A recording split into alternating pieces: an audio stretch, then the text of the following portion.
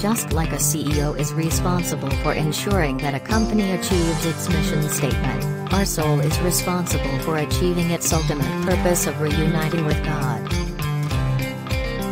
However, just like a company has multiple departments that need to work harmoniously to achieve its targets, our human existence also consists of a body, mind, and emotions, each with their own goals and complexities.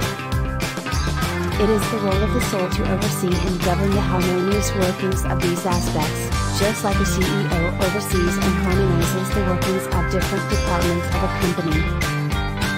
to achieve life's mission statement, the first step is for the soul to remember itself as a part of God and connect with the divine light and sound of God. This awakening provides the strength needed for the soul to take its rightful place as the CEO and convene the meeting with the body, mind,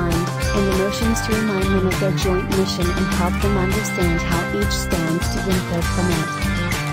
This meeting is the process of meditation, where the body, mind, and emotions are stilled, and our being experiences the joy and bliss of the inner world.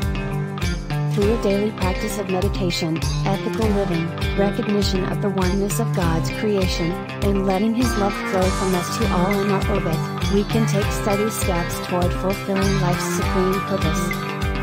The key is to let the soul govern and harmonize the workings of the body, mind, and emotions so that we can achieve our ultimate goal of reuniting our soul with the divine.